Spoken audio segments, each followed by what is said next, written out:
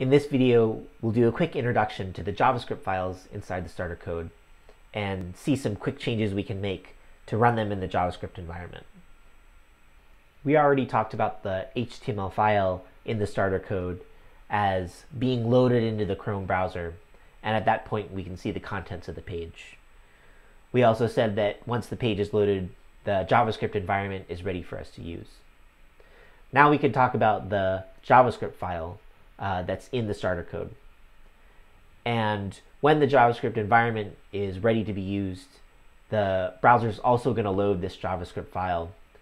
And at that point, the JavaScript inside that file is executed. First, let's take a look at the default behavior of the starter code JavaScript. So when I click on the submit button, then I see the words hello world inside the gray box. I'm going to open the starter code folder inside of VS Code.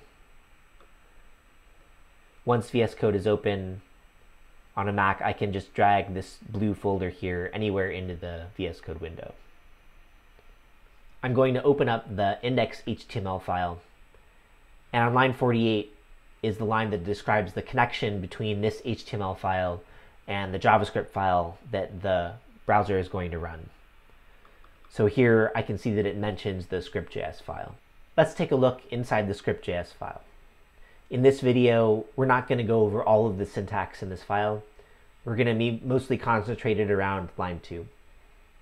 You might notice that on line 2, there are the words hello world. Those are the same as the words that appeared inside the gray box. Let's make some changes to these words and see what happens in the browser. So here I'm going to make a small change. And I'm going to save the file. And then we'll see those changes in the browser. I'm going to refresh the page. And when I click the submit button, now I see the changes in the gray box that I made in the script.js file.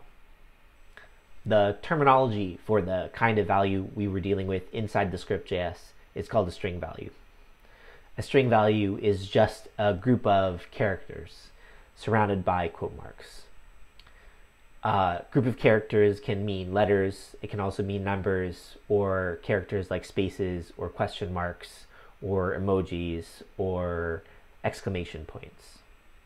The other values we were dealing with, numbers, have some special properties where we can do math operations like multiplication, division, or addition.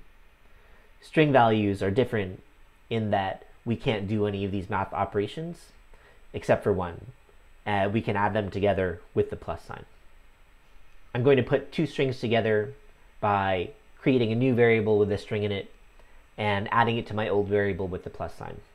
So first I'm going to create a new variable.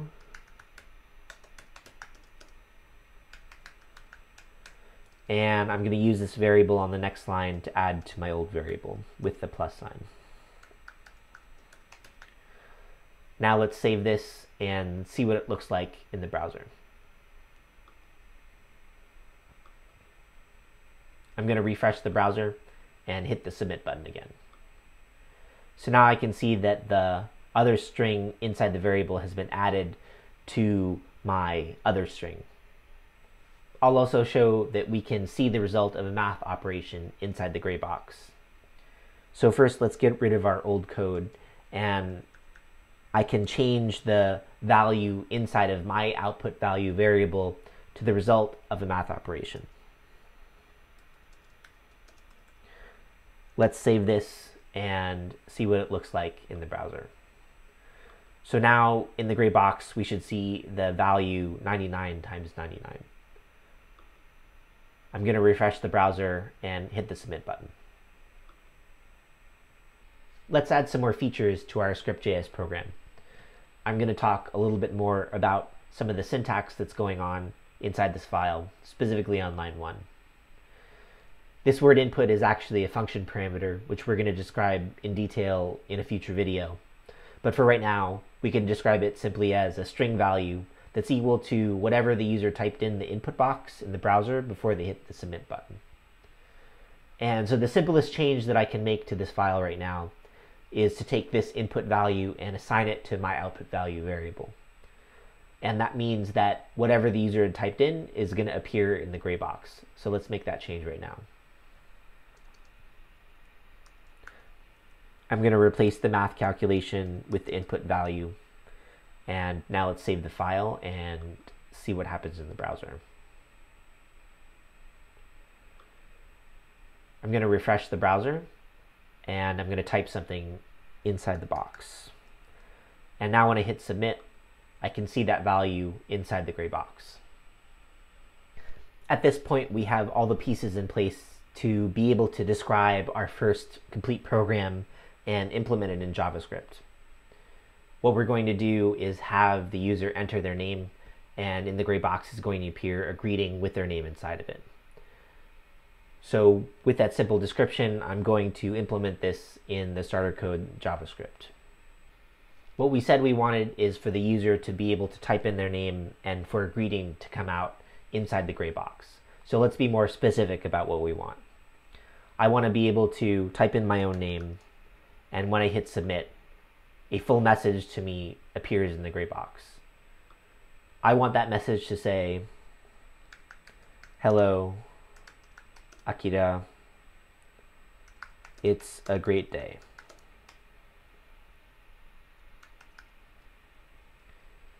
So now that we've specified exactly the behavior that we want, we can code this in JavaScript. We know that the input value is going to be the name of the user that's typed in in the input box. So now all we need to do is construct the total message. I'm going to paste in our reference example message here so that we can refer to it. So what I want is something like hello input it's a great day.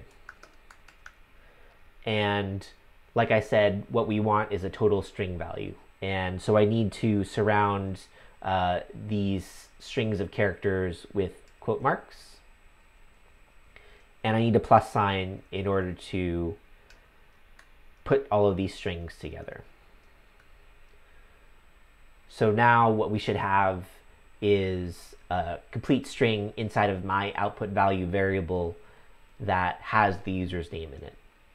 Let's get rid of our reference message and save the file and see what happens.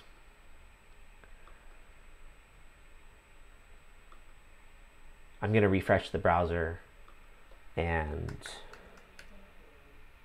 put in a name. We just completed our first self-contained program, and this program has all of these software application properties. It takes user input, it's interactive, it represents and processes data. In the coming videos, we'll add on the next property encoding behaviors and rules through the use of control structures, specifically functions, conditionals, and loops.